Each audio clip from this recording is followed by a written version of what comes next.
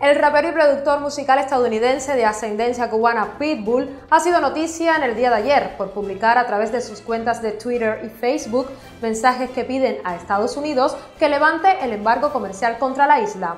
Para ello, el mismo músico se ha apoyado en una fotografía de una botella de Boli Vodka en la que se puede leer en inglés Terminen el embargo a Cuba. Muy pronto habrá libertad, tiempo de boli en Cuba, dijo también en inglés en su publicación en Twitter y continuó en español con una célebre frase, Cuba libre, ya tú sabes, fiesta, dale. Pitbull es el accionista mayoritario de la marca de vodka Boli Light, su principal patrocinador y también su mejor embajador. No es la primera vez que el cantante usa una imagen de su empresa para darle promoción.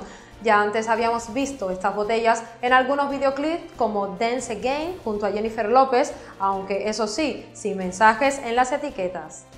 ¿Estará Pitbull pensando en ampliar su negocio a la isla una vez que las cosas cambien? Seguramente. Por lo pronto, nos quedamos con sus buenas intenciones.